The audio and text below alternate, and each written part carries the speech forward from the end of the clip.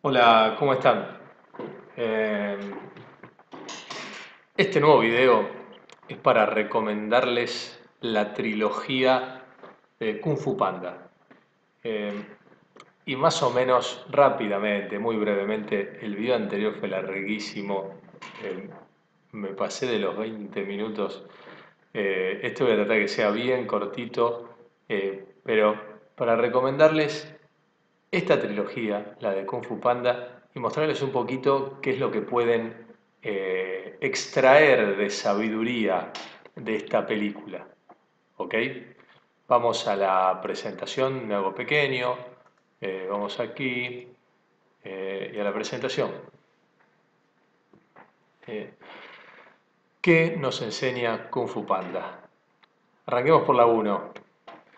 En Kung Fu Panda 1 Em, hay dos cosas para mí, en realidad hay tres.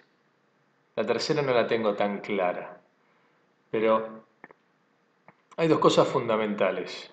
Una es que el maestro de Kung Fu del templo, de esa aldea, eh, reconoce en un momento que todos los problemas que están teniendo fue por culpa de su orgullo, de su soberbia, producto de su baja autoestima, su necesidad de obtener un logro a toda costa.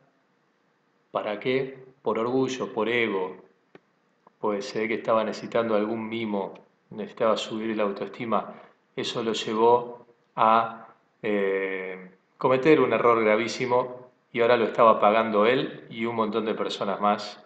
Eh, eso me quedó y, muchas veces me pregunto, eh, ¿qué es lo que me llevó a estar en esta situación? ¿Qué tengo que ver yo con este problema que estoy teniendo? Esa pregunta es la que nos hace crecer eh, si solo nos ocupamos de resolver el problema, eh, pero no, nos miramos a nosotros mismos a ver eh, qué, qué aspecto de nuestra personalidad nos llevó a cometer ese error para poder empezar a, también a resolver ese problema, que es el que nos va a llevar a crecer, a superarnos, a enriquecernos y a seguir desarrollándonos interiormente, a nuestro desarrollo y crecimiento personal. Esa pregunta es más importante. Eh, si bien el problema real, concreto, hay que resolverlo, también hay que resolver eh, ese otro problema, que es esa parte nuestra o esa característica nuestra que, nos llevó a, a tener ese, problema, ese conflicto. Eh, lo otro que nos enseña la 1 es algo que tiene que ver con la docencia, con la relación maestro-alumno, con el sistema educativo en general, que está tan cuestionado, el sistema educativo tradicional, eh, que viene de la época de la revolución industrial, donde había que meter a un montón de niños que quedaban sueltos por ahí porque los padres iban a trabajar toda la semana eh, y, de paso había que formarlos para que después pudieran estar en una fábrica también toda la semana con el sistema de, fabricación eh, en línea, ¿no? Como en la película Tiempos Modernos de Chaplin, está todo el día moviendo una tuerquita, prestando atención a lo mismo, eh, los niños empezaron a necesitar atención sostenida y más o menos replicaron los horarios y eh, el formato de lo que sería trabajar en una fábrica. Eh, y de paso era un aguantadero de niños. Eso tiene que cambiar. Eh, en esta película muestran cómo el maestro se tiene que adaptar al alumno y al estilo de aprendizaje que tiene el alumno tiene que el maestro ver la mejor manera de enseñarle para que ese alumno, con esa personalidad, con esas motivaciones, pueda aprender. En este caso era un panda, un oso gordo, obeso, eh, con hambre todo el día, eh, vago, vago perdón, vago, perezoso. Eh, ¿Cómo enseñarle kung fu a alguien así? Era problema del maestro, no del alumno. ¿Está claro? Bueno, aprendan docentes, maestros, profesionales de la educación, nunca es problema del alumno, siempre es problema del maestro. Eh, pasemos a la DUE. Kung Fu Panda 2 se trata básicamente de eh, la solución natural, con un poquito de ayuda de una cabra muy sabia, de un trauma, un, trastorno de estrés postraumático que se dispara eh, en el panda a raíz de una experiencia traumática que vivió cuando era bebé, eh, en la cual destruyen su aldea y matan a su madre y él lo tienen que, como a Moisés, dejar en un río, en una caja, en un canasto, para salvarle la vida.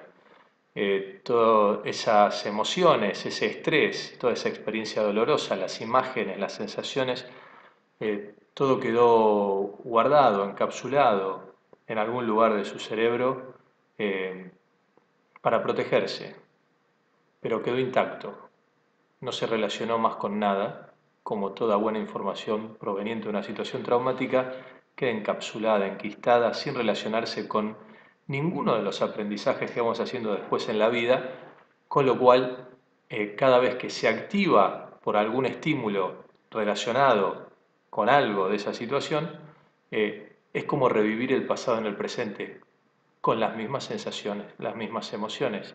Eh, esto le sucede al panda en la 2 y, la película se trata de cómo se cura un trastorno por estrés postraumático cómo se reprocesa, cómo se activa y se reprocesa, se evoca esa información para poder reprocesarla y sanar el trauma.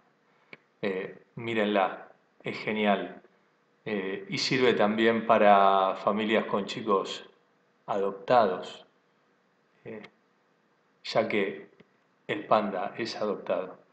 Bueno, aquí tenemos la 3. La 3 que está en cartelera ahora, eh, también se trata de la docencia, del sistema educativo. Aquí el panda pasa a ser docente, maestro. Él tiene que ocupar el lugar del maestro de Kung Fu del templo de la aldea y no tiene la menor idea de qué hacer no sabe qué hacer, hace todo mal al principio, está desmoralizado, tiene que aprender a ser maestro. Eh, y lo aprende. Y es muy parecido a la 1. Él lo que trata de hacer es eh, que cada uno de sus alumnos sea la mejor versión de sí mismo, de acuerdo a su propio potencial.